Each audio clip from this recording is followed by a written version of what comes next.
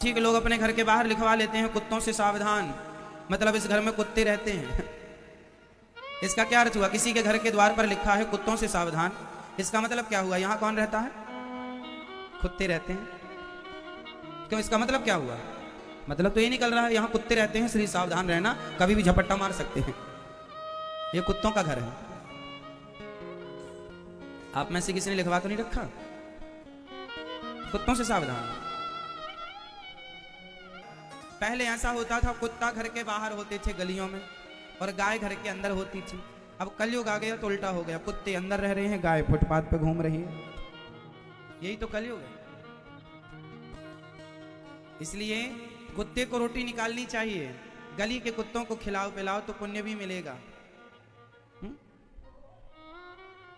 कुत्तों को खिलाओ, रोटी आखिरी वाली रोटी कुत्तों की होती है। पर गाय घर में, जब घर में नया ग्रह प्रवेश होता है ना नया घर आप बनवाते हैं तो उसमें सबसे पहले उस घर में गाय के ही चरण पड़ते हैं, कुत्ते के नहीं।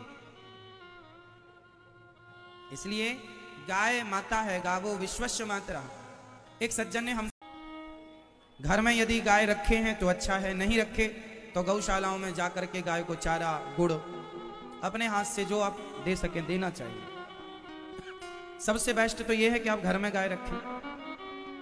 घर में रखेंगे तो दूध खाने को मिलेगा ताज़ा। अच्छा शुद्ध घी मिलेगा। बाज़ार में जो दूध मिलता है उसकी क्रीम तो निकाल ली जाती है। वो दूध तो एक प्रकार का छाछ है। आपको पता है आजकल दूध से क्रीम निकाल ली जाती है? है ना? पता है ये प्रोसेस कैसे होता है? एक मशीन आती है उसमें दूध डालो तो दूध अलग हो जाता है। उसमें जो मक्खन क्रीम होती है वो निकल जाती है। उसका घी बना लिया जाता है और वो दूध आपको मैच दिया जाता है पचास रुपए लीटर। अस, उसका असली चीज़ तो निकाल ली गई। इसलिए आप समय के पहले बुढ़े हो जाते हैं, समय के पहले आप बीमार पड़ जाते हैं, क्योंकि आप अच्छी चीज़ें खाते ही नहीं। इसलिए आपको क्या खाना चाहिए? शुद्ध दूध। और शुद्ध दूध कब मिलेगा जब आप अपने घर में गौ माता शुद्ध देसी गाय रखेंगे? गाय की सेवा करना चाहिए। घर में पालें, भैंसे और घोड़ा। आजकल तो लोग कुत्ता पालते पचास पचास हज़ार रुपए का कुत्ता। लाख लाख रुपए का कुत्ता। कुत्ते का गोबर काम नहीं आता साहब। गाय का गोबर काम आता। और तो सब मैं पाले भैंसे और घोड़ा। पीकर दूध मुझे क्यों छोड़ा? गौ पालन कर बनो ग्वारिया। गौ अंदर या बाहर? से कहा महाराज जी आप हिंदू लोग कैसे हो? हमने कहा कैसे हैं? बोले आप लोगों के पास समझ नहीं है। हमने कहा क्यों जी? किस समझ की कमी है हम लोगों के पास? बोले आप लोग जानवर को माता कहते हैं बताओ। गाय तो एक जानवर है ऐसा उन्होंने हमसे कहा। तो आप माता क्यों कहते हैं? हमने कहा भाई अपनी अपनी समझ की बात। गा, गाय तुम्हारे लिए हो सकती है जानवर। हमारे लिए तो वह माता है। कैसे? जैसे गंगा का जल तुम्हारे लिए सामान्य पानी हो सकता है। जैसे गंगा हम सबके लिए माता है, ऐसे गाय हम सबके लिए माता है।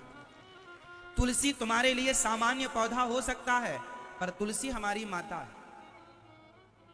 तुलसी आपके लिए सामान्य पौधा हो सकता है। तुलसी हमारे लिए माता है। गंगा का जल तुम्हारे लिए सामान्य जल हो सकता है। गंगा हमारी माता है।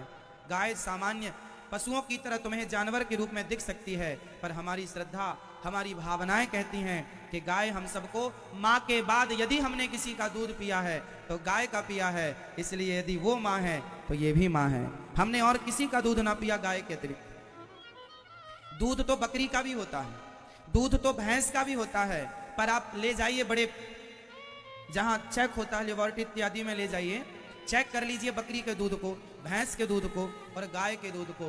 सर्वोत्तम दूध, सर्वोत्तम कहते हैं गाय का दूध, संपूर्ण आहार होता है बच्चे का।